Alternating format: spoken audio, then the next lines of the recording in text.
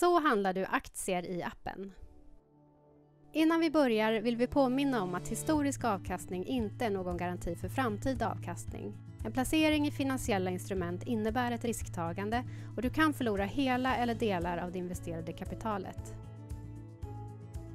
Öppna Swedbanks eller din Sparbanks app. Tryck på logga in. Tryck på menyn markerad som tre streck.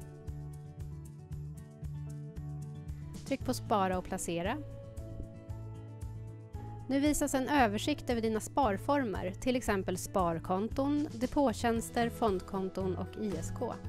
Det enklaste sättet att hitta den aktie du vill handla är att använda sökrutan.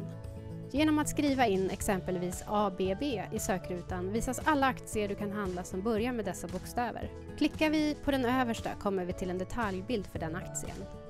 I detaljbilden hittar du en aktuell analys överst och genom att klicka på den så kan du läsa ett sammandrag av analysen från analysfirman Kepler-Chevreux.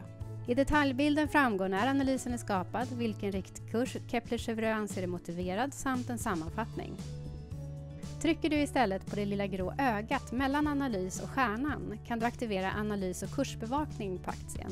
Du får då kostnadsfritt notiser i din mobil när analysen från Kepler-Chevreux uppdateras. Du aktiverar analysbevakning och kursbevakning genom att trycka på reglagen.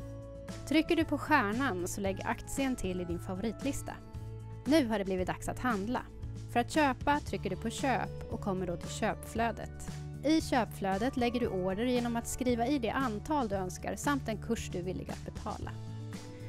Om du lägger en köpkurs som är lägre än säljsidan till höger i orderdjupet finns det risk att ordern inte går igenom. Du väljer också hur länge du vill att ordern ska vara giltig. Normalt är en order bara giltig under innevarande handelsdag, men vill du ha en annan giltighetstid så ändrar du det här. Kontrollera så att köpet sker till rätt förvar. Tryck därefter på fortsätt. Du får nu en sammanfattning av din order och ett preliminärt courtage för att genomföra den. Ser allt korrekt ut trycker du på godkänn. Du får nu en bekräftelse på att ordern är registrerad. Tryck på orderstatus för att se om din order har gått igenom.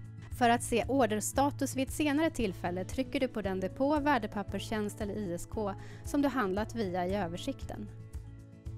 Lycka till med affärerna!